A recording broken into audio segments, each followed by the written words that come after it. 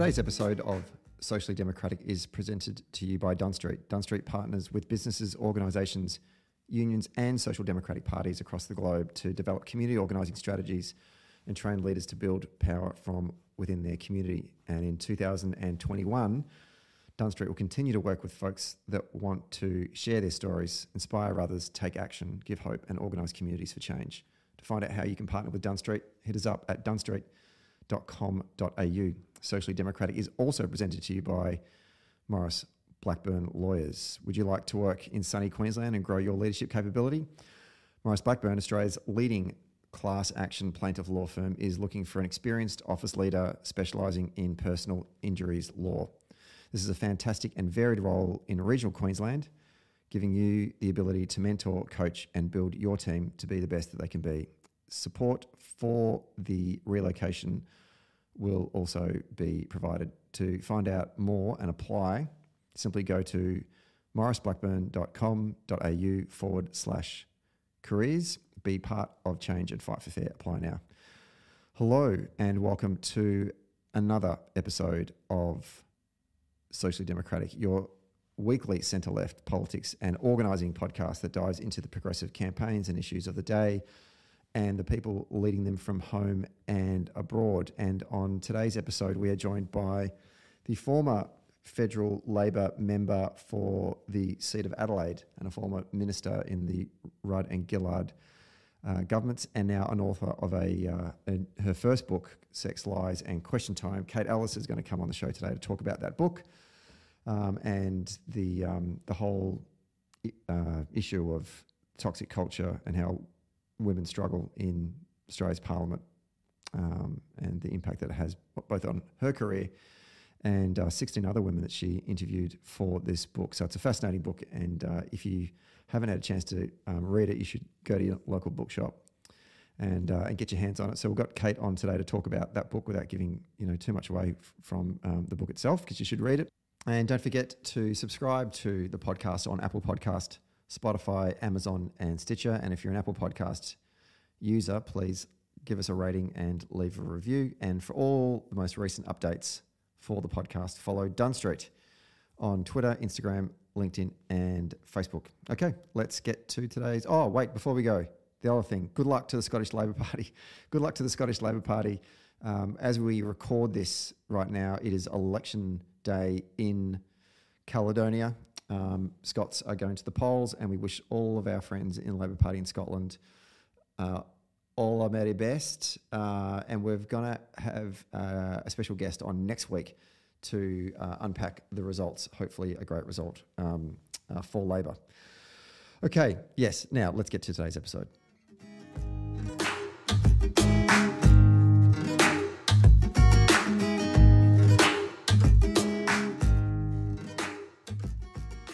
We're taping this one on a Thursday afternoon, a lovely autumn day here. The sun is shining through the Dunn Street offices, and uh, today's uh, guest is the former representative for the Division of Adelaide in the Australian House of Representatives for the Australian Labor Party from 2004 to 2019, and was also a minister in both the Rudd, Gillard, and Rudd Labor governments.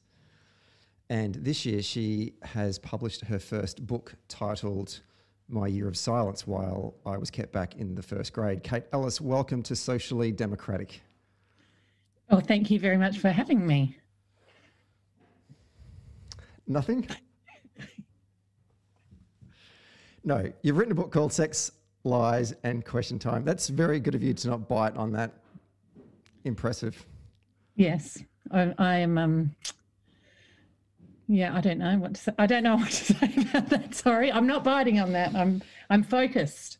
Uh, no, no, what it feels like t- if, uh, that was like a kind of a Zach Galifianakis between two ferns kind of moment, yes. and I'm not going to keep doing that. okay. Now, you and I spoke on another podcast. Uh, I have to go check the date. It was July 2017. Uh, you were about to finish up your career as a politician or had? Um, no, I'd announced that I was leaving. I was about to give birth. I was really about to pop. Um, but I still had another almost two years in the parliament. Right. So I, I wasn't intending on doing the questions about sort of backstory and and, and Yeah. the like, uh, only because we've sort of we've covered that. But then I realised not everyone listened to that episode, and also Outrageous. I know, uh, and also there are many people who listen to this particular podcast that do not live in Australia uh, and may not know who you are. So maybe we'll do a little bit of backstory on Okay. how it was that you came to become a politician in Australia's national parliament. Go. Um, well, in 2004, I had the opportunity to run for the seat of Adelaide, which was at that time and for the decade beforehand held by the um, Conservatives.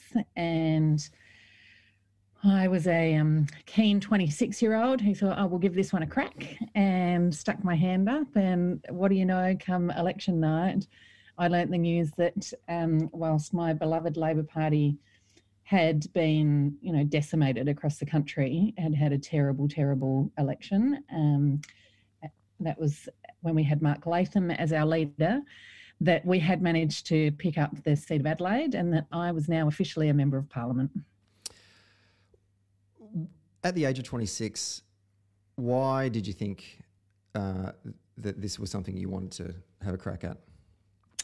I just, um, I believe then, as I believe now, that the greatest way you can bring about change is through the national parliament. There's no other way that you can deliver more for a greater number of people than the national parliament. And I mean, I think back then it was probably more so.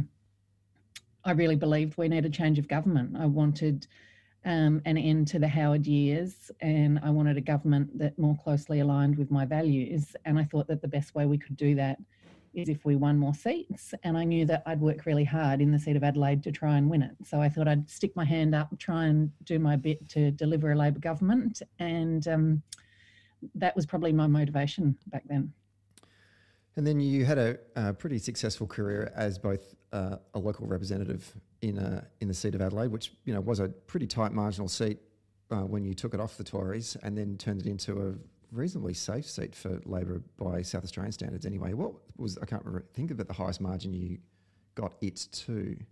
I think it was about 9%, although a really cruel thing happened. Um, I know I'm cutting ahead a little bit, but after I announced that I wasn't going to run again, there was a big redistribution of borders um, and electoral boundaries in South Australia. And um, the seat of Adelaide is now, and I predict will probably long be, a very safe seat as a result of the new boundaries. So um, it never was I was always a marginal seat member, but Adelaide is a pretty good Labor seat now. So you had a, a successful career both as a representative, but also as a member of um, the senior Labor team in, in government and in opposition. Looking back on that career now, how do you reflect on that? You've had a bit of time to, you know, time and distance between today and when you first um, hung up your boots. What is what are your reflections on that experience? Oh well, I um, I just think there's no greater privilege. Um, you know, that was the most remarkable experience to get a chance to, you know, in my case, um, really bring about massive changes to the way we deliver and fund and the quality of early childhood education, which is a really big passion of mine. Um, that's an amazing experience. Uh, just yesterday, um, I was speaking at a corporate event, and one of the questions someone asked me is, "Do you think you can bring about more change within the parliament, or now that you're outside the parliament and you're free to jump up and down as much as you like?" And I said, "There's just no question about that. Like." Um, being not just in the parliament, but having the chance to put your case around the cabinet table is how you change Australia and improve Australia. And um, I just reflect that I'm so lucky to have that privilege and I will always value that. Can you think of uh, a moment that defines that?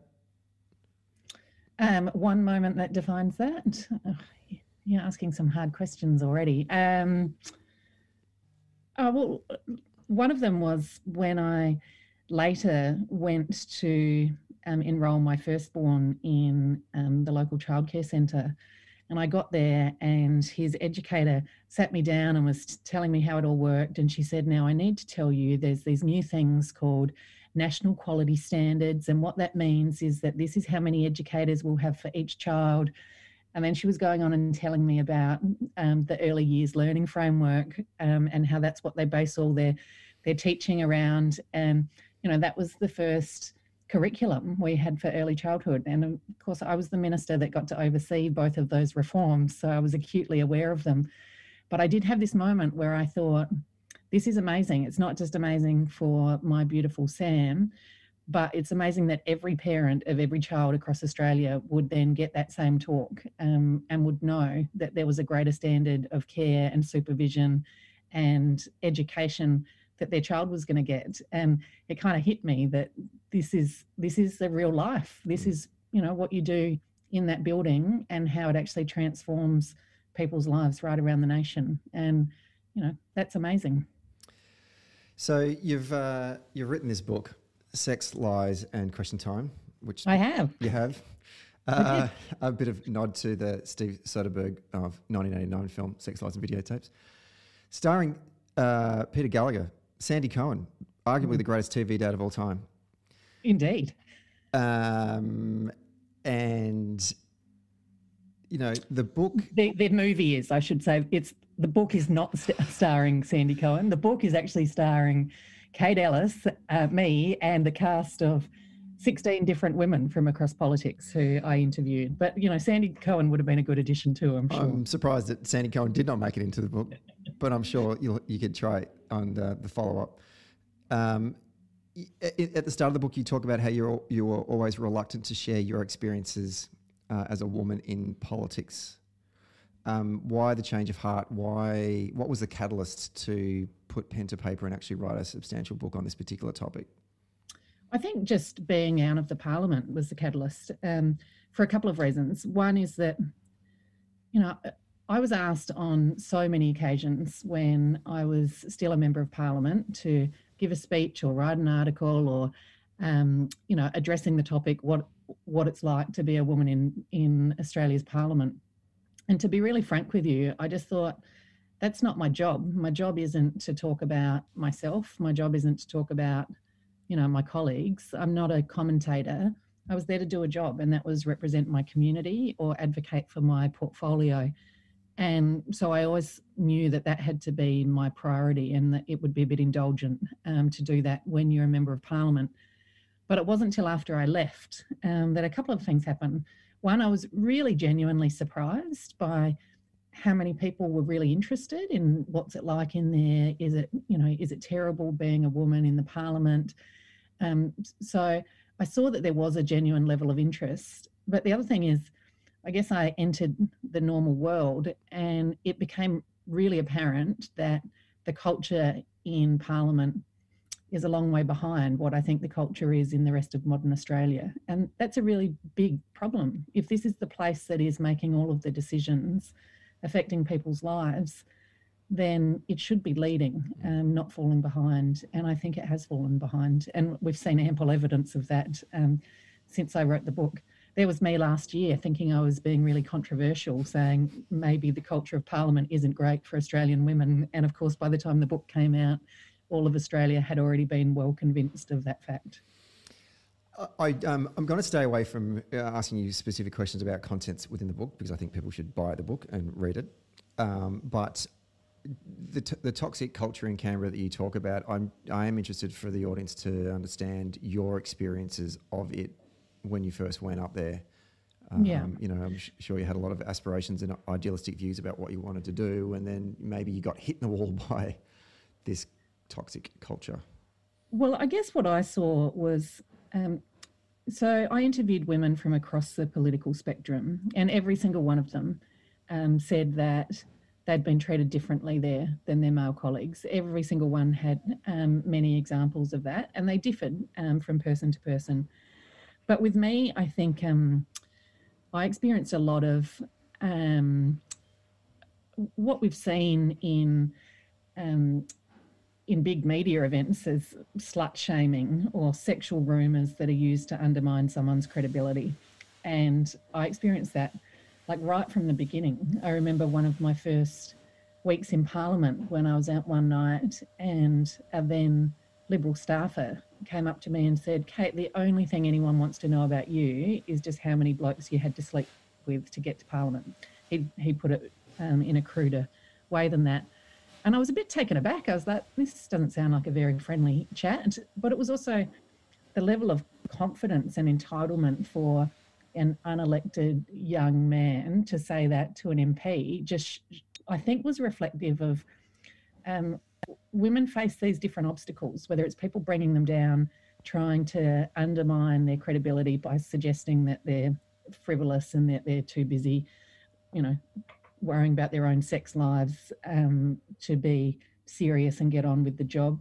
You know, other people had different experiences where um, um, it might be that people didn't listen to what they were saying or concentrate on what they're saying because there was just this fascination with what they looked like or how they dressed. Um, but all of these things, it became really clear as something that the women in the parliament experience, and either the men don't or they don't anywhere near to the same degree. And there is no question that everybody had been treated differently based on gender in that building. And, you know, I was really torn. I think for me, the biggest challenge of the whole book was that I want um, things to change. And I think that what we've learned over the last little while is that they're not changing by themselves. Like you've actually got to call them out and shine a light on it if you want to change the behavior.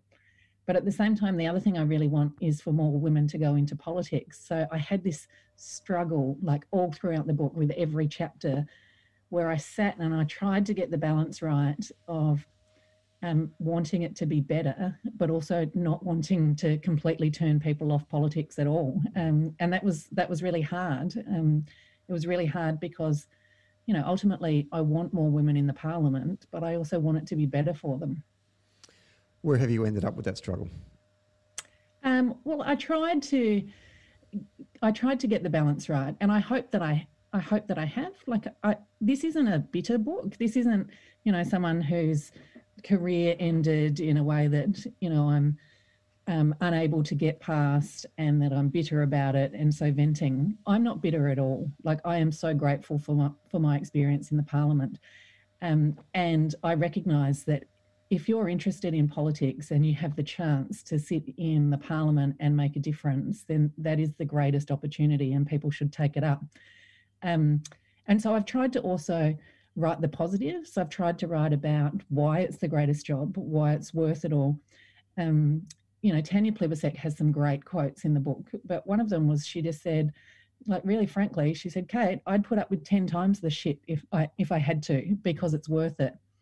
And the other thing that I wanted to shine a light on, which I don't know has been done as much as it should have, is that having women in the parliament has actually made a difference to this country. You know, there are a whole range of policies which were prioritised, advocated for, you know, funded um, in budgets because there was a woman there advocating for them, and otherwise they would never have happened. Mm. And so I think telling the story of, you know, there may be some things that you are challenged by along the way, but the rewards for that um, are enormous. And I wanted to tell that side too. Did in, in your public leadership uh, with a public profile, you know, moments like the one you shared before about that young staffer coming up to you and yeah. saying those inappropriate things. Now, naturally, you'd expect in that scenario that there has to be behaviour change by that person, but I'm imagining that the behaviour change was actually was was you. You had to uh, readjust how you conducted yourself, which is, sounds mm. ridiculous, mm. I know. Um, was that the case? And yeah. was that the case for the, the other uh, women politicians you spoke to in terms of their experiences? Yeah, one of the really interesting things is I think women acknowledge that, um, you know, politics is like a lot of industries where the real power is in the networking, is in the information sharing, is in the building alliances. Um, and that happens outside of the parliament. That happens in the pubs, in the restaurants, in the cafes. And a, a number of women recognise that you take a risk um, if you go and are a part of that, then any male journalist, business leader, senior politician that you're seen with, there's a very good chance that rumours will be spread that um, you're just sleeping with them or you're just trying to get ahead um, in that way. But there's also a risk if you don't go. If you don't go, then you're not a part of that. You don't get that information. You don't build those networks. And so women have to make a call. And Sarah Hanson Young actually said that, you know, for a long time she avoided those situations because she'd been exposed to um, rumours about her and a journalist who um, she had caught up with socially, and then she realised you can't vacate the space. Um, you you can't. That's you're giving up too much. It's too great a sacrifice if you do that. Um, but different women have made different decisions about that, and you know I think there's a whole range of things where you have to decide, um, you know, in the way that you dress. Um, one woman put it, you can't look too pretty or attractive because then you're a bimbo. You can't look too old or frumpy or ugly because then, you know, you're deemed to be lazy or, um, you know, not care about, um, not have self esteem, whatever it might be.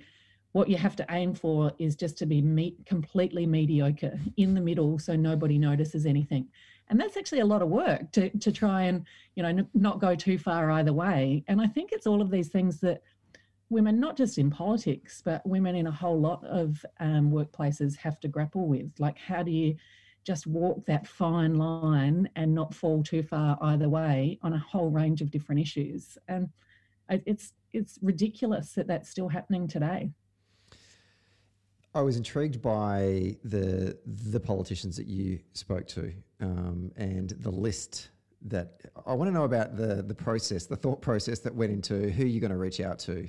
Obviously, mm. you spoke to people from your own caucus, from the um, from the Conservatives, from the Greens, even Pauline Hanson.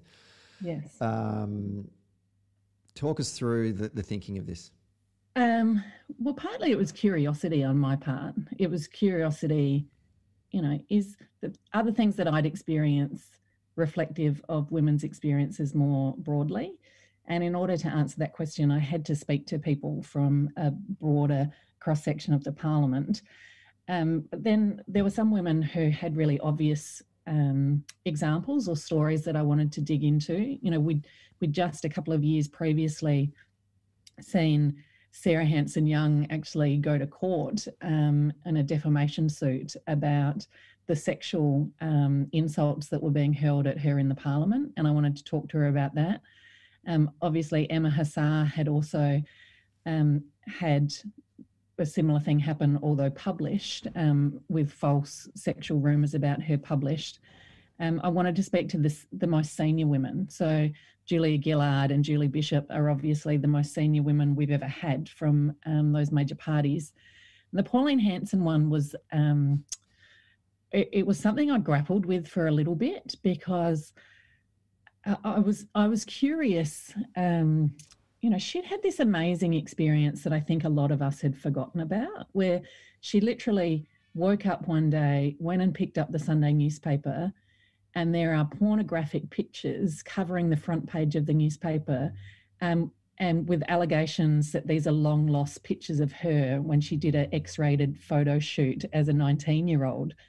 And she's picking up the paper, and as it turns out, it's not her, and it never was her, but it's splashed on the front pages.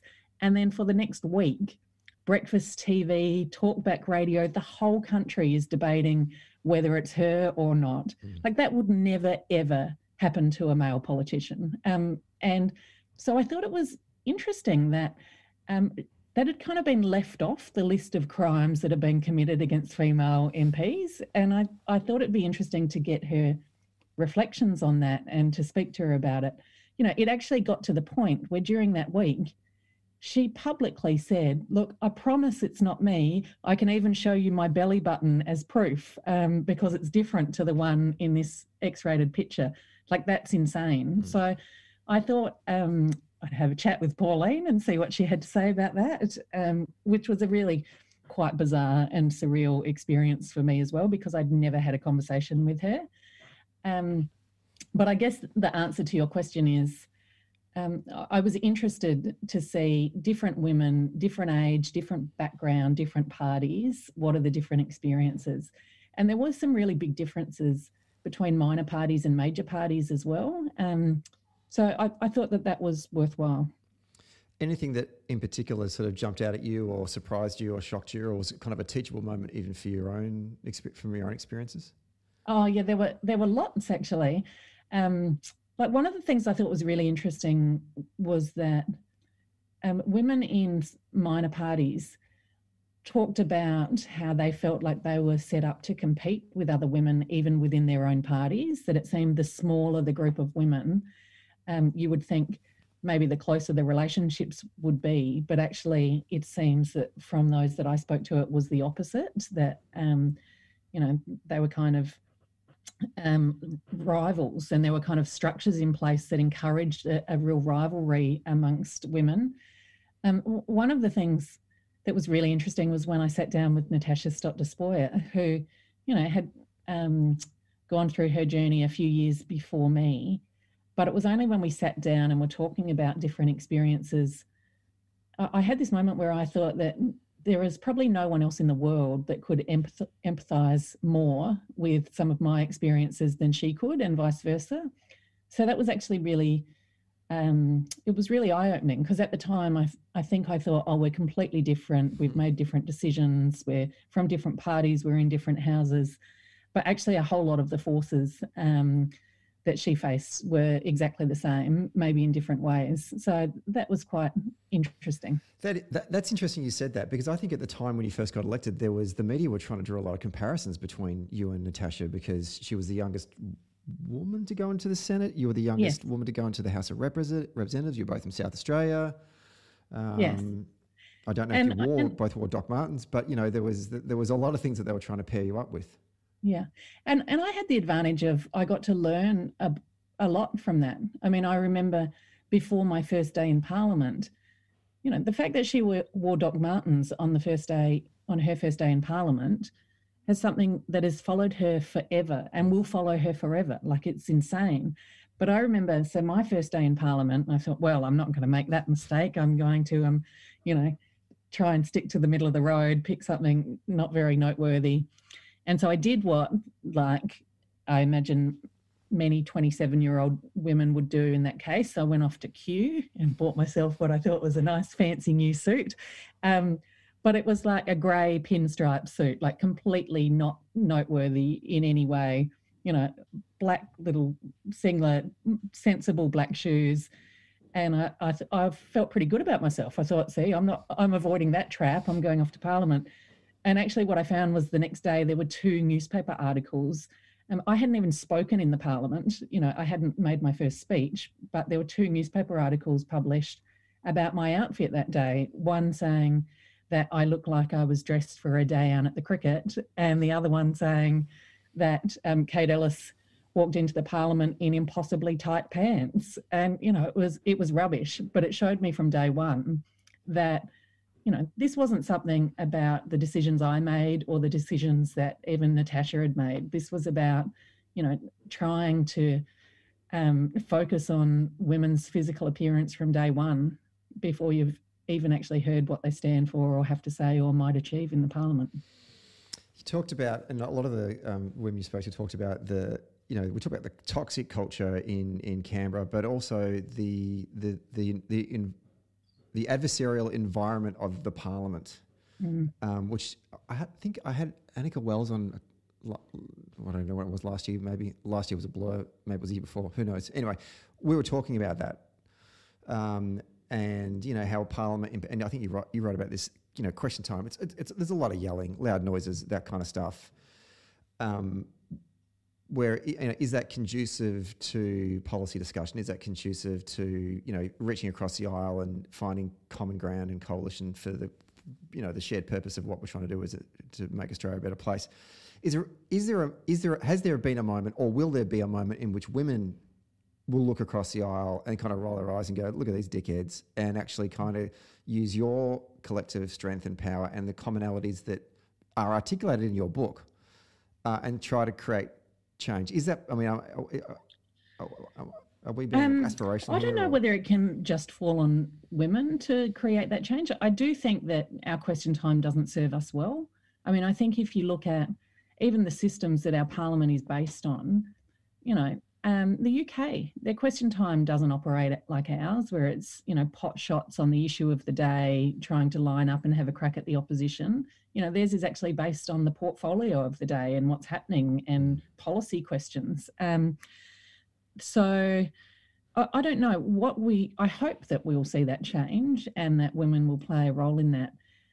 But you know, the difficult thing was that there are a lot of people who I think would have liked it if I could tell them that women were going to join together, we're going to save the parliament, we're going to bring about change.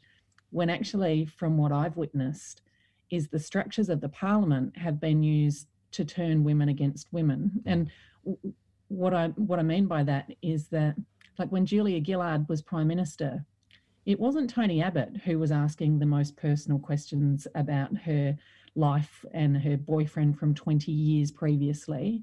Um, he wasn't standing up and asking those questions. And I assume that's because he didn't want to look like he was bullying a woman.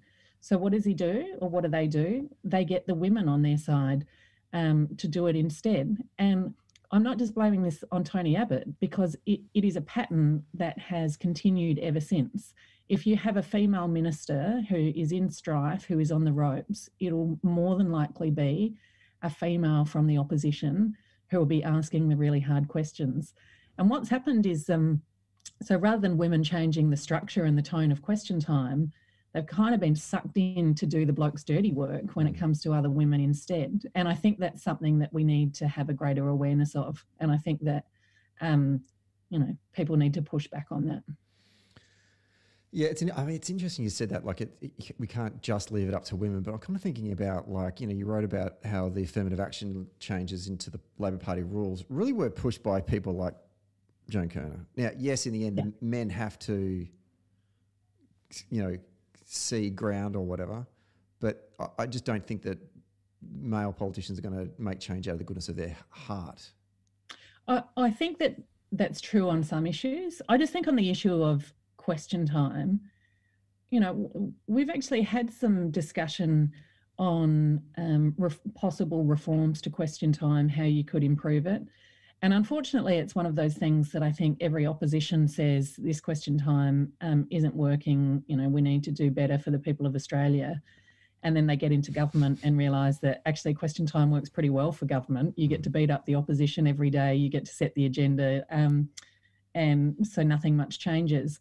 But we have seen um, male politicians have played a key role, and I'd have to check this, but I, I'm pretty sure it's Milton Dick who's been doing some work in this regard in this parliament um, and the inquiries in that as well. So I'd love to see question time reform. I just, I don't think it serves any purpose. Um, it doesn't serve the purpose it's meant to around accountability of government um, because governments don't have to answer questions.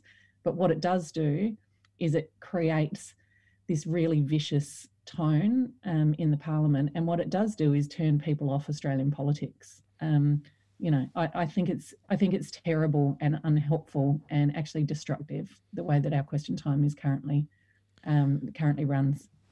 When you were um, writing the book, did you consider um, widening the, the the scope of the book to talk about the experiences of political staff as well. You were once a staff yourself in the South Australian state Labor government.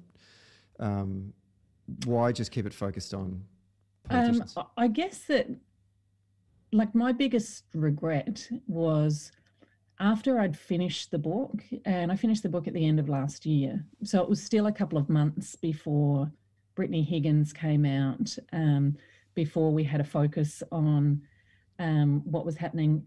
And you know, so many people, it was a couple of weeks before my book was due to be released. And so many people were saying to me, Oh, what perfect timing, Kate. Like, mm. how good's this for your book?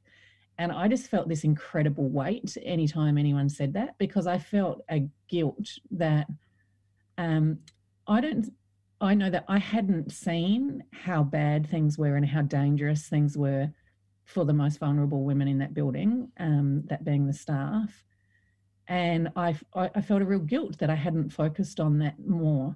I mean, I think what we what we see in the parliament is there is this there is this culture of just a general disrespect for women, and that plays out with the most senior women in the building. But of course, like anywhere in society, where that's most acute and most dangerous is with the least powerful women there. And, you know, if I was writing the book today, it would be a very different book. But I, really just thought I was writing a book about what I knew about. Um, and I certainly hope that things have changed a lot since the 20 odd years ago when I was a staff member. But, you know, evidence would suggest they haven't changed anywhere near enough. I'm keen to get your thoughts on the, the the Brittany Higgins experience, um, mm. given that you obviously had, as you just mentioned before, just finished writing the book, mm. uh, and then this happens. I, I, think it maybe it was last year or the year before. I was talking to a group of um, Labor Party friends, uh, women, and I, I was pos- posing the question. I was saying, in the United States, th- they had a you know, a very strong Me Too movement. And, and, and I think it still continues to this day, but there was like an apex there where a lot of men in various uh, industries, m- media, politics, um, um, business, were being held to account. Uh, Hollywood uh, were being held to account. Um, people were losing their jobs. You know, like Al Franken resigned as a senator. Um, the list is long and endless. And I s- we were talking, and I said, I, I just at this time I was going, I don't think Australia's had that, and I thought it was going to happen. I remember there was a journalist who apparently had a list of people, and I don't know, nothing materialised about that. I just assumed that eventually it would be, you know, like that wave would come across to Australia, and it didn't happen. Well, I don't think it happened anyway. And then we've had this year, and this time I mm. felt like, okay, now there's a le- there is well one would argue if there is any accountability, people ha- heads haven't rolled yet, but it seems like it's starting to happen. Is this the genesis of the Me Too movement happening here in Australia? But and will it go beyond just politics in Canberra? Um, I, I, think there's no doubt that there is a momentum, and I think it will go beyond Canberra. Um, I think what's actually happened is that you know, when you look at the statistics of how many women have been sexually assaulted in Australia, you know, we we um, toss around the statistic one in five women over the age of 15. But when you actually dig into that, what that means is that right now there were well over a million women in Australia who have been sexually assaulted in their life, and most of them have never reported it, and many of them have never told anyone, have thought, there's nothing I can do about this. I'm just going to shut up and try and get on with my life. And something really powerful's happened in the last few months. I think, um, you know, Grace Tame standing up as the Australian of the Year and frankly talking about the abuse that she endured, but also saying to people, the only way through this is to stand up and speak your truth. We have to shine a light on it. Um, I think made a lot of those million people who have their own truths stop and reflect on what happened in their own life as well.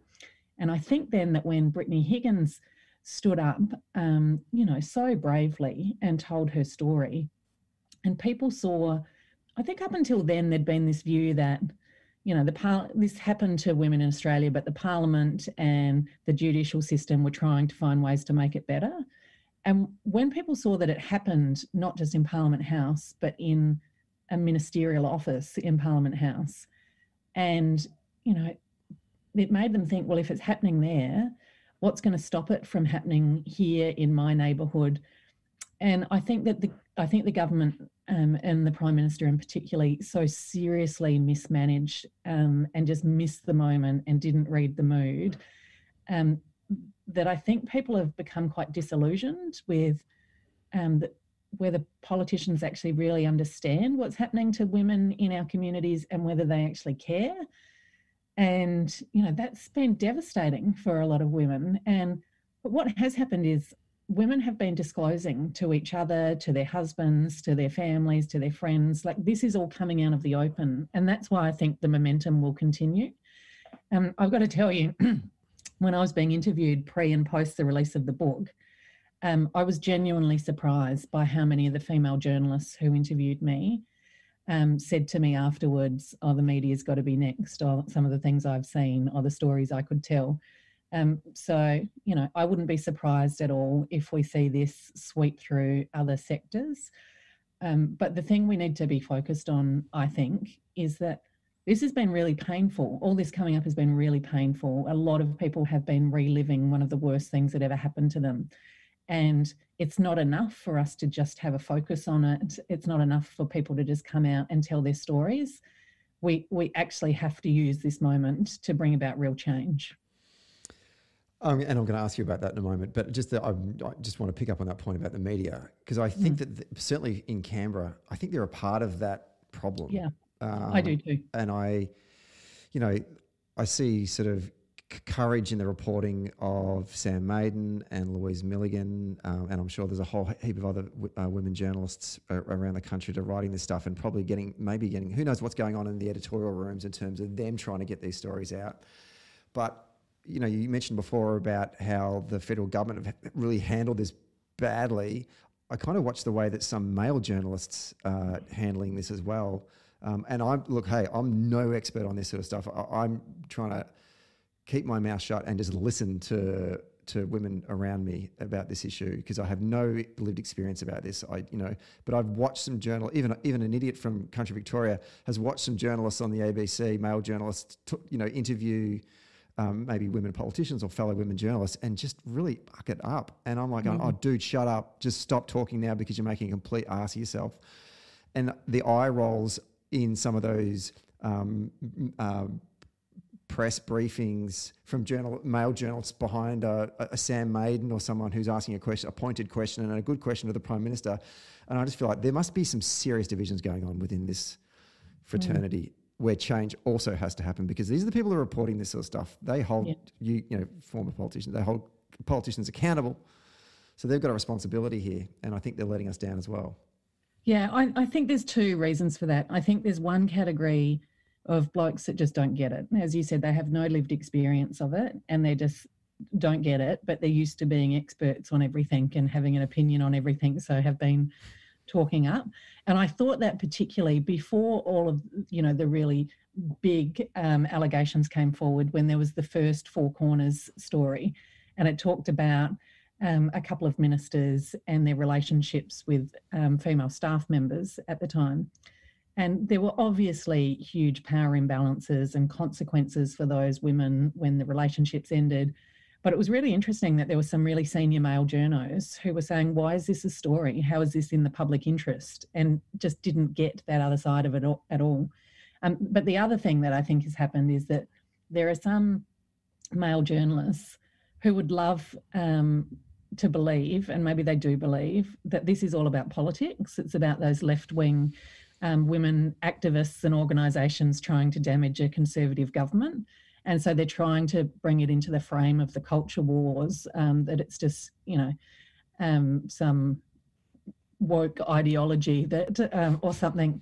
Um, and you know that's really damaging. You know if we need to do one thing we just need people to realize that this is real. And you know those statistics are staggering. Like i can't get my head around that. And i just wish that some of those men would have a think about those statistics when they're writing about how this is all just politics. Because I actually have a view which is probably not that popular, but I don't think this is about party politics at all. And I don't even know whether this is going to harm Scott Morrison and the government as much as people think it, it will. I actually think that something even more destructive is happening, and that is women are losing faith in the parliament as a whole. Mm. I think that it's being reflected upon the parliament as a whole and feeling really let down and disappointed by the parliament as a whole. So, I mean, I may be wrong. Obviously, there were some um, pretty stark um, polling figures on the gender divide, particularly post Brittany Higgins and the Christian Porter allegations. Um, but I, I suspect that they just think that nobody gets it in that place. Yeah, it's interesting. Um, solutions. I had uh, Liberty Sanger from Maurice Blackburn. Uh, I love Liberty. Julia Fox, the National Assistant Secretary of the SDA, and Natalie Hutchins, uh, State um, Labor Party um, MP in Victoria, on the show for International Women's Day. Hmm. Um, and they were um, they were trying to tackle all of the problems in an hour. Uh, and did a great job of it. But they were talking about, in particular, reporting inappropriate behaviour at work um, and I want to get a sense from you about what you think the solutions are in terms of how do we deal with this um, in the workplace, um, making um, you know reporting more accessible, people work um, um, um, managers and, and employers more accountable, and how do we support victims and giving people the ability to report? Where, where do we go here? Do you mean in the parliament or more broadly? Well, hell, let's just start with the parliament, maybe. Look, I think in the parliament, it's got to be about calling this stuff out. You know, I, I've been really heartened by how many men in the parliament from different political parties rang me after the book was released and said, I didn't realize that was going on, or thanked me for increasing their awareness. Or I had one just the other day who said, um, I've actually been, been, been seeing some of the blokes on his side um, making fun of a woman's physical appearance every time she contributes, and he's felt really uncomfortable about it. But having read the book, he's going to call it out now. He's actually going to say to them that's not on. Yeah. So I think um, shining a light on things in the parliament is really important, and I think um, not just electing more women, but electing better men as well. We've already seen a change in the culture in the Labor Party. Um, I think since we've had more women and had a new generation of men start coming through as well. Um, I think that the bigger question on what do we do in the community, you know, I think people would really like it if we could say, if you just funded this one thing over here, all of this would stop. And all of the evidence says, you know, it's about bringing up people better to not disrespect women, which means it's got to be in primary prevention campaigns and it's got to be in real education campaigns that don't involve milkshakes and don't involve euphemisms. It's got to be, you know, if you want to stop our domestic violence levels, our levels of sexual assault, our levels of sexual harassment, it all comes back to this um, disrespect for women that exists in our community to a level that it shouldn't. And that's what you've got to change. In the short term, though, oh, I've got quite a list, haven't I? Um, in the short term, you know, when we're a country where one woman is being killed every year, I don't understand how we can have women's support services and shelters saying that they don't have the resources that they need to meet that demand. Like that is just, um, I just can't understand how anyone could tolerate that with the kind of stories we've seen. So, one thing you could do tomorrow is actually properly fund women's support services and shelters. And um, they should, everybody should, states um, and the federal government should put more in um, there, there are stories constantly about services turning women away or not being able to cater for the number of women um, who want to access that service. And, you know, if women don't have a safe place to sleep or um, the support they need to know where to turn, well, that's a pretty dangerous situation and we should address it tomorrow. Or even today. The, or yesterday. Indeed. Hmm. Uh, Sex, Lies, and Question Time by Kate Ellis. Um, where can you? How can you get the book? Wow, all good bookshops um, uh, stocking the book. The audio book is out now, um, and you can also look online. Um, the book is everywhere. Although I did see it's not in the um, in the bookshops in the airport, which I was really disappointed about because that's where I used to buy a lot of my books. But all the other good ones have got it, and um, yeah, give it a read. Let me know what you think. Did you have to do the audio for the audio book? Well, um, no, I was going to do the audio for the audio book. Um, but they didn't have studios in Adelaide, and because of the COVID situation, um, I didn't want to travel um, which everyone has said um, I kind of dodged a bullet because you basically have to sit in a room for four or five days just listening to the sound of your own voice. Um, so no, someone else has has uh, has recorded the audiobook, which I've, I've only listened to about thirty seconds of it, but I just found so strange. It's so strange hearing your stories of your life being told in someone else's um, voice and speech patterns. Um, so it's quite bizarre. So no, it's not me, but it's available, and she's got a lovely voice. So give it a whirl. I don't know if this is true, but someone told me, uh, former Speaker of the House of Representatives, uh, uh, leader in the House, um, uh, John Boehner. Is it Bain, uh, John? Is it his first name? Boehner? You know, it, it look, if you read it out loud, it looks like Boehner, but he's called Boehner. Right. He, his book, he read the audio, he recorded the audio for his book, but he doesn't apparently he did it over a couple of bottles of wine, and every now and then he goes off script. And he ad libs. Oh, that's great. I would have loved to have done that. And he just gets stuck into people.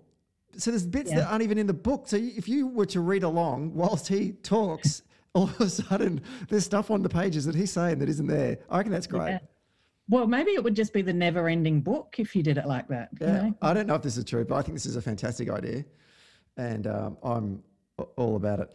One more question before you go, um, because the last time I spoke to you was in 2017, and since then, your beloved Glenelg Football Club finally won um, a South Australian national national uh, football league premiership in 2009 against Port Adelaide. Oh, and it gets even better.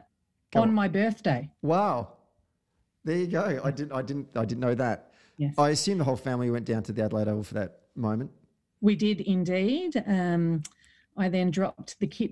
So I think I had a one year old and a three year old or something at the time, who, of course, I decked out in all their Tigers gear and then dropped them back home after the game and took my mother down to the Glenelg Footy Club rooms to celebrate with the thousands of people who were gathered there. And just because I'm sure that many of your listeners are very interested in the progress of the Glenelg Football Club, I can also tell you that we are currently undefeated and sitting top of the ladder. So, um, yeah, things are pretty exciting in local South Australian football. These are the- return of the glory years for the Bays. Is that what you're Oh, saying?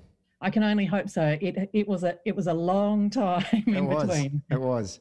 You'll have to update all your passwords. Um, Don't say that. uh, well, I'm giving, broadcast that. I haven't- People are going to get into every one of my accounts. I haven't com- completely given it completely away. There are a number of premierships you could choose from. Okay, th- Kate, Stop it. Uh, thank you so much for coming on the show today. Lovely to see you again. Please go out and buy her book, Sex, Lies, and Question Time. It's an excellent read, um, and uh, we look forward to the sequel. Uh, don't hold your breath, but thank you very much for having me.